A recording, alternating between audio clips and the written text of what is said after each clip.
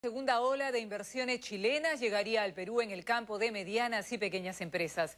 Al respecto, Jorge González Izquierdo ha pedido que no se descuide el respeto a las normas laborales. Velo. Una segunda ola de inversiones chilenas en el Perú se avecina.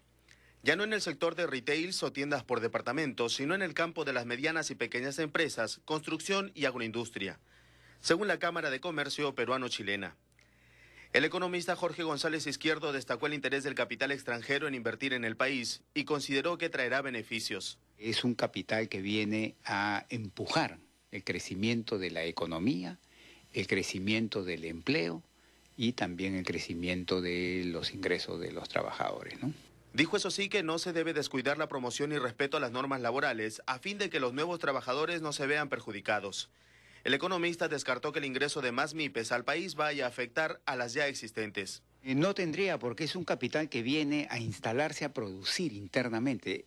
tendría un impacto negativo si se trae el producto hecho en Chile, por ejemplo, a competir con el producto peruano en el mercado local. Ahí sí. Desde la Asociación de Exportadores ADEX también destacaron el ingreso de más capital al Perú. El gerente general de ese gremio, Juan Carlos León, indicó que el sector agroindustrial en el que se prevé la inyección de inversiones se debe a que los productos peruanos son actualmente muy requeridos en el mundo. Ellos están mirando a Perú como una extensión de su oferta exportable y también como eh, contraestación a sus productos.